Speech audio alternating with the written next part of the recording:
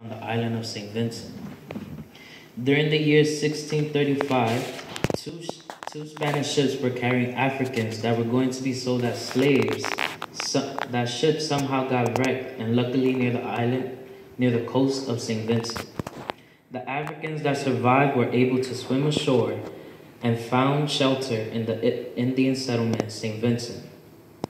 Years later, the Indians and the Africans intermarried. This intermix fused to the single culture known as Black Caribs or Garinagu. In the, in, in the year 1795, the French defeated the Garinagu on the island of St. Vincent. The Garinagu were exiled by British troops and shipped off to Roatan. After successfully developing a healthy crop of cassava on Roatan, the Garifuna people established fishing villages through the, throughout the Caribbean mainland. On November 19, 1802, many Garinagu people had migrated to British Honduras, today known as Belize. This migration was led by Thomas Vincent Ramos. He led our people, he led our people to a settlement town in Dangriga, and they eventually branched out to other communities.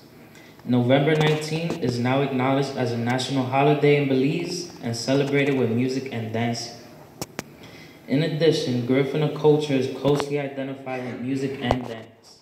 Garifuna's music styles known, are known for their heavy percussion instruments, and distinctive drums.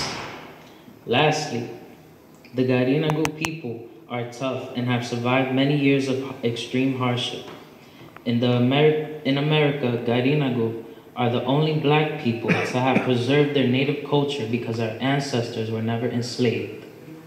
With that being said, it's important to recognize that New York City has the largest population of Garifuna people outside of Central America.